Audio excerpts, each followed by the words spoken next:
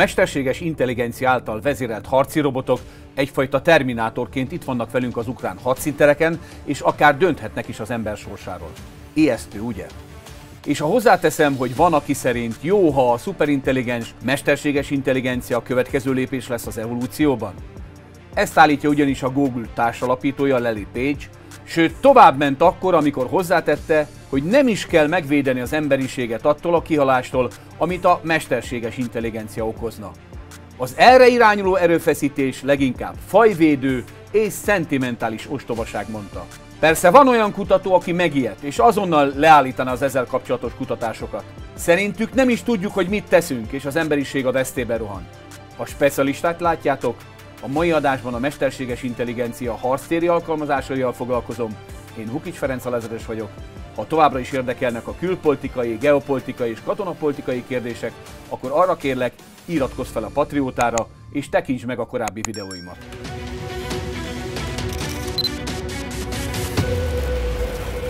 Mi abban a rossz, hogy nem az ember lesz az intelligens élet utolsó formája az univerzumban? Tette fel a kérdés Richard Sutton, a Google egy korábbi vezető kutatója. A kételkedők viszont azt mondják, ha ezt így folytatjuk, akkor mindenki meg fog halni, beleértve azokat a gyerekeket is, akik nem ezt a jövőt választották, és nem tettek semmi rosszat. Eliezer Jutkovski, amerikai döntéselméleti szakember, Elon musk és több kutatótársával együtt egy évvel ezelőtt nyílt levélben felszólított minden mesterséges intelligenciával foglalkozó laboratóriumot, hogy azonnal legalább 6 hónapra szüneteltessék a GPT-4-nél erősebb rendszerek fejlesztésével foglalkozó kutatásokat. Jutkovski szerint az emberfeletti intelligenciával való próbálkozással az a gond, hogy ha elsőre elrontod, akkor már nem tanulhatsz a hibáidból, mert halott vagy. Ebben az esetben az emberiség nem tanulhat a hibáiból, nem porolja le magát, és nem próbálkozik újra, mint történelmünk során sokszor, amikor leküzdöttük a különböző kihívásokat. Egyszerűen azért, mert mindannyian eltűnünk. A mérnöki tudományokban azonban rendkívül nehéz feladat, hogy az első igazán kritikus próbálkozásra bármit is tökéletesen megvalósítsunk. 2023. novemberében megtartották az első globális, a mesterséges intelligencia közeli és távoli kockázatait értékelő tanácskozást. Ennek ellenére az OpenAI januárban csendben feloldotta a mesterséges eszközök katonai felhasználásra vonatkozó tilalmát. Az ukrajnai háborúban már halálos autonóm fegyverek harcolnak robotok ellen, és gépek döntenek az emberek életéről és haláláról. Egy 2022-es gépi tanulással foglalkozó kutatók körében végzett felmérés szerint közel felük úgy vélte, hogy legalább 10%-os az esély annak, hogy a fejlett mesterséges intelligencia az emberiség kihalásához, vagy tartós és súlyos jogfosztottsághoz vezethet. Az olyan prominens kapitalisták, mint például a milliárdos Mark Andreessen, azzal érvelnek, hogy az általános mesterséges intelligencia ahelyett, hogy mindannyiunkat megölne, inkább a bőség és a mágikus technológiák korlátlan aranykorát fogja bevezetni.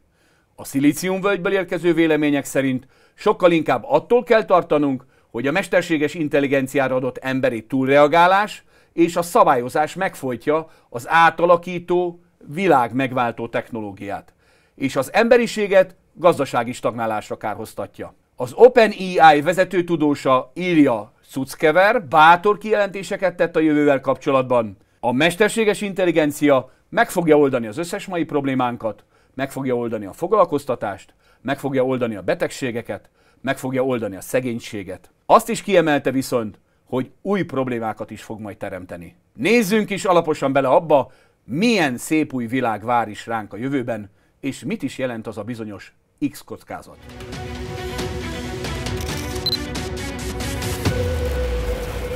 Meglehetősen borús képet vázoltál föl nekünk az előző percekben, de részletezzük egy kicsit most azt először, hogy mégis milyen veszélyeket rejt magában a mesterséges intelligencia és annak szabályozása. Hát az egyik az, hogy még a szabályozás nem létezik, és ez a nagy probléma, amitől a kutatók elsősorban tartanak, az az, hogy akik leginkább a fejlesztésekkel foglalkoznak, úgy érzik, hogy pontosan nem tudják, hogy mi történik.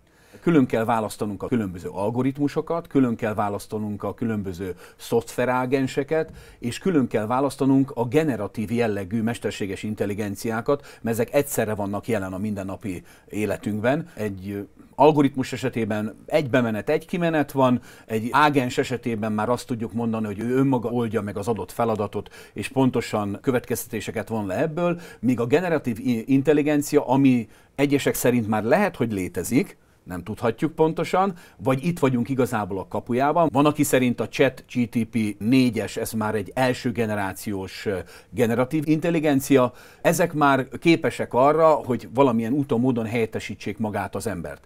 És azok, akik tartanak attól, hogy ez mit okozhat, azok arról beszélnek, hogy mi történik akkor, amikor ez öntudatára ébred, és rádöbben arra, hogy egy olyan csapat veszi körül, tehát egy olyan környezet veszi körül, akik lassabbak, akik kevésbé intelligensek, intelligensek, mint ő, és erre milyen reakciókat fog majd kiváltani. Sokan azt mondják, hogy a kihalástól való félelem az felesleges, mint ahogyan a felvezetőben is beszéltem róla, mert igazából az evolúciónak csak a következő lépcsőfokát éljük meg. Annyi történt, hogy a húsvér emberiség eljutatta a világot idáig, megalkotja a világ leghatalmasabb és legnagyszerűbb találmányát, a mesterséges intelligenciát, és ettől a pillanattól fogva ők átvehetik a helyet, átvehetik a szerepet, és viszik tovább mindazt, amit az emberiség korábban megalkotott.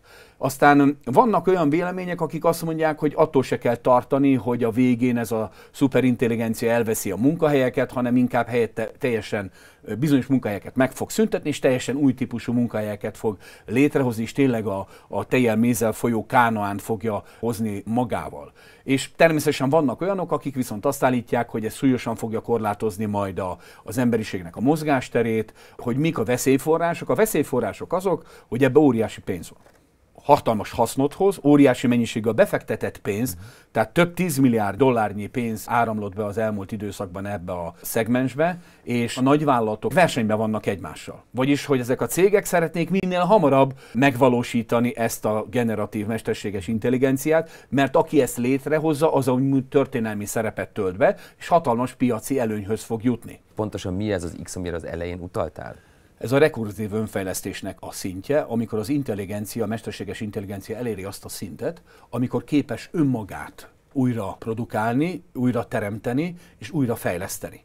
Ez pedig azt jelenti, hogy egy idő után olyan mértékben felgyorsul az intelligenciának, a mesterséges intelligenciának a fejlesztése, a, a képességei, ami igazából emberileg már nem ellenőrizhető. És akkor egy kicsit visszakanyarodtunk gyakorlatilag az első mondathoz, amelyben megemlítettem, megemlítetted a Terminátor című filmet, és abban nagyon-nagyon sok utalás van ezekre, igaz, robotokkal és háborúval kapcsolatban utaltak ezekre a dolgokra, de gyakorlatilag ott is arról van szó, hogy ez a bizonyos Skynet öntudatra ébredőt ott így hívják, de gyakorlatilag azt jelenti, hogy önmaga elkezd tevékenykedni, és nem lehet leállítani. Így van.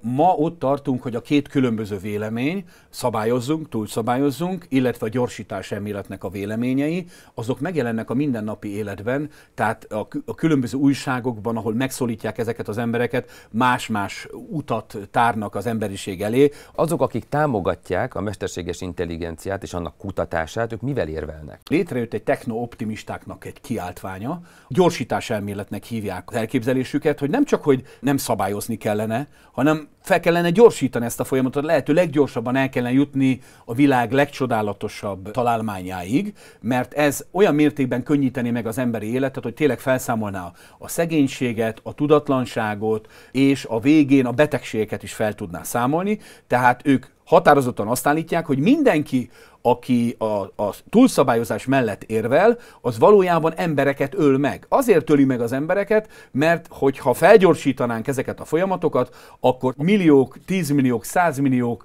életén tudnának javítani, meg tudnák őket gyógyítani, és e, valójában egyfajta gyilkosok, akik e, a lassítási folyamat mellett érvelnek. Tehát ők nem veszik figyelembe a veszélyforrásokat. Azt mondják, hogy ők figyelembe veszik a veszélyforrásokat, csak ezeket a veszélyforrásokat túl misztifikálják. Sok mindent elmond a dologról, hogy az Open AI-nak az az elképzelése, hogy a szabályozást is a mesterséges intelligenciának kellene kitalálnia. Az, hogy nincsenek erre tervek, nincsenek erre pontos elképzelések, ez egy komoly veszélyforrás jelent a jövőnk szempontjából kutatók kordában tudják tartani a fejlesztési területüket? Nem tudják, mert döntő részében maguk se tudják. Tehát sokan, akik az élvonalban dolgoznak, azt mondják, hogy pontosan nem tudjuk, hogy, hogy mi történik belül a dobozban. Tehát nem arról szól, hogy az emberi idegrendszert vagy az agynak a működését próbálnák leutánozni, és ezért is voltak a segélykiáltások, hogy állítsuk le. Nem csak a szabályozást kell, lehet, hogy be is kellene tiltani. Hát vannak olyan szakértői vélemények, akik azt mondják, hogy ennél a pontnál tovább most nem szabad tovább menni, mert mi nem vagyunk felkészülve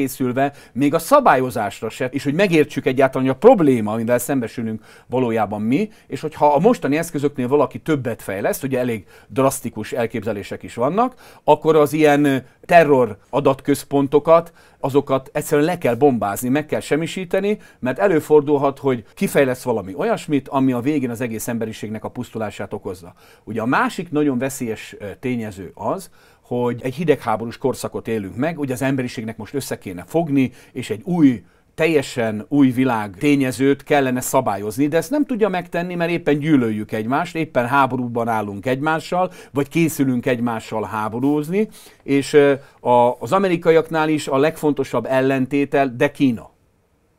De hát a kínaiak nem fognak majd alkalmazkodni a szabályozáshoz, és hogy az a két-három-négy év előnyt, amit az amerikaiak élveznek a kínaiak hasonló jellegű kutatásaival szemben, hogyha önszabályoznák magukat, akkor ez az előny elveszne, és a kínaiak megszereznék az ebben kapcsolatos gazdasági, politikai és technikai előnyt, és ezt kíméletlenül felhasználnák a többiekkel szemben. És akkor emellett meg még természetesen ott vannak azok a nagyvállalkozók, filantrópok, akik elképesztő pénzeket investáltak be ezekbe a fejlesztésekbe, és őnekik direkt terveik vannak. Van, aki szeretné túlélni a fizikai testét.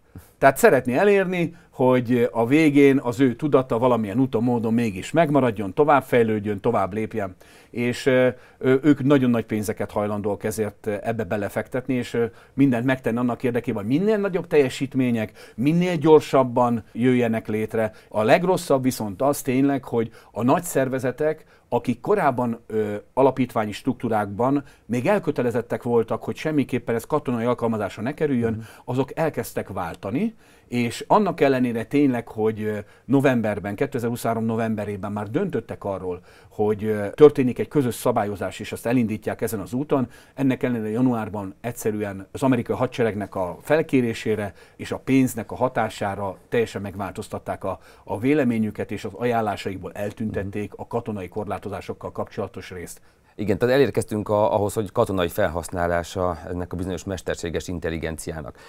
Ez most csak a nemzetállamokon múlik, és a nemzetállamok viszonyán múlik, hogy a mesterséges intelligenciát hogyan és mire használják föl, vagy pedig elindult ez a folyamat, és mindenki próbálja a saját maga malmára hajtani a vizet egy kicsit, és a katonai terepen gyakorlatilag felhasználni azt a tudást, amelyet a kutatók előállítottak. Ha csak a katonai terepen történne meg mindez, tehát most mondok egy egyszerű példát, hogy biofegyvereket előállítani most nagyon nehéz a világon, tehát bizonyos tudást össze lehet gyűjteni az internetről, viszont vannak benne akkora rések, szándékosan meghagyva, hogy ne történhessen meg, hogy mondjuk egy terrorszervezet ez alapján elkészít egy biofegyvert.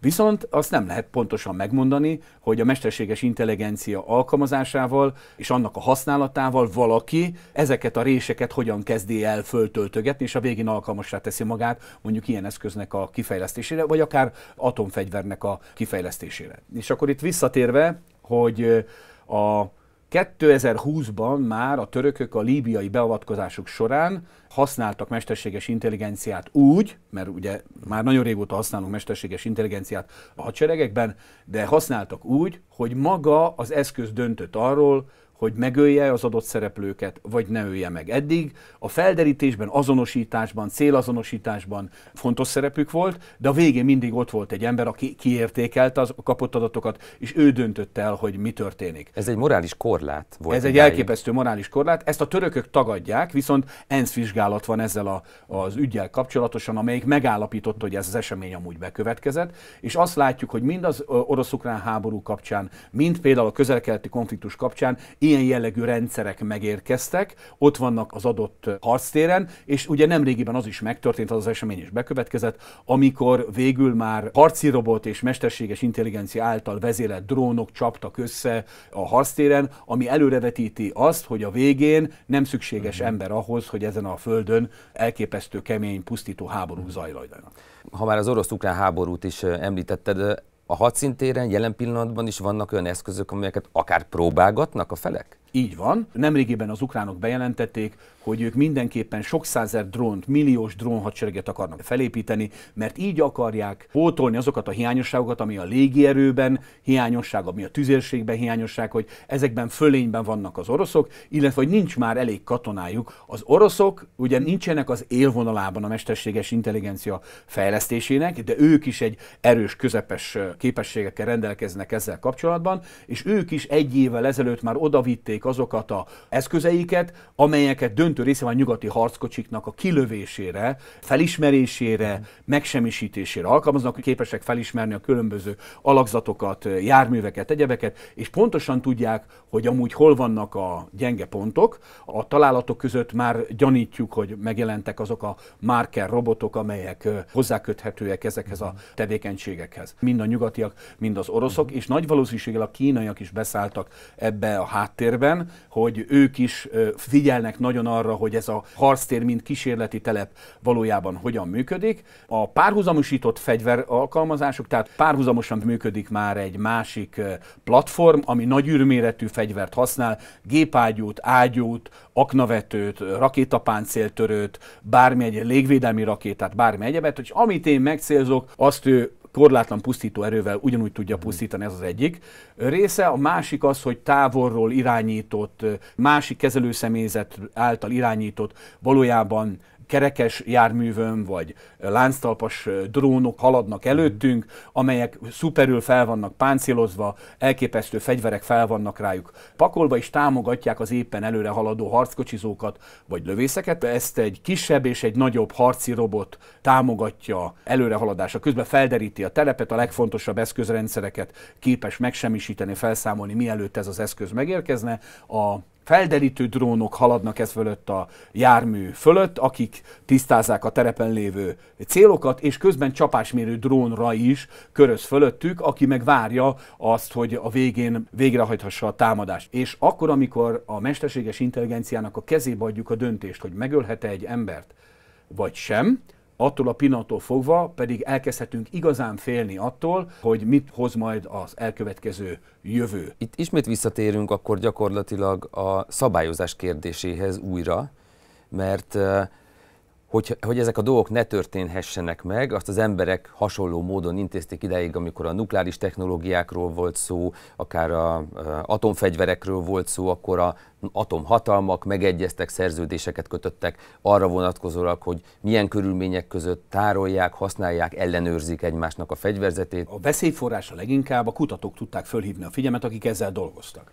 Na most ezt a nagy cégek úgy oldották hogy megháromszorozták a kételkedőknek a fizetését, és azok utána elhallgattak.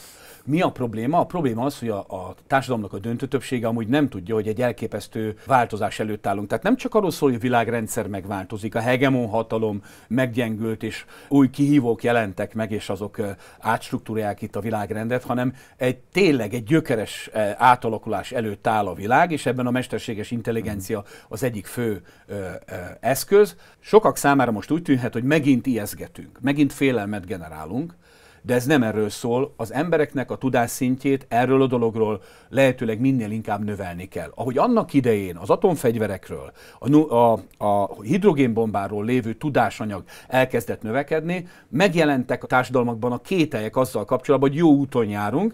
Ez tömegtüntetésekhez vezetett, a tudósok, a közéleti emberek összefogtak, és rákényszerítették az államokat és a hadsereget arra, hogy a szabályozás megszülessen. És nagy társadalmi viták alakultak alakultak ki azzal kapcsolatosan, hogy pontosan hogyan is kell értelmezni a nukleáris elrettentésnek a fogalmát, és meddig mehetünk el ebben. És akkor megszülettek utána a különböző nukleáris doktrinák, amelyek döntő részében elutasítják az első csapásra való jogosultságot.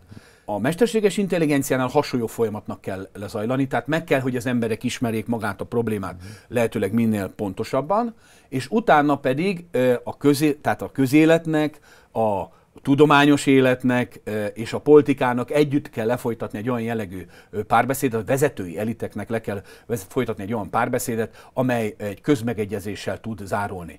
A mesterséges intelligenciára alapozott kapitalista termelési módszereknek a megjelenése, elképesztő mértékben át fogja szerkeszteni a társadalmunkat, és a technoelit, a tudományos technikai elit elképesztő mértékben meg fog gazdagodni ennek a következtében, vagyis az is egy veszélyforrásá válik, hogy ez az elit a végén nem fogja figyelembe venni az emberi társadalomnak a döntő többségének a véleményét. Ha a világon valakinek sikerül a generatív mesterséges intelligenciát megalkotnia, elképesztő versenyelőnyt fog szerezni a többi vetétársával szemben. Ez elképesztő pénz és hatalom koncentrációhoz fog vezetni. A globális technoelit hatalma elképesztő mértékben meg fog nőni. Ma úgy tűnik, hogy a világ leggazdagabb emberei közül néhányan éppen most döntenek a sorsunkról, csak erről közben elfelejtettek bennünket tájékoztatni. A baj az, hogy őket nem választotta meg senki. Ha a mesterséges intelligencia megjelenésével akár csak egy százalék esély is van arra, hogy az emberiség kipusztulhat, vagy pedig hosszú időn keresztül tartó jogfosztottságot szenvedhet, akkor nekünk mindent meg kell tenni annak érdekében, hogy ez a bizonyos X kockázat, ez lehetőleg közelítsen a nullához.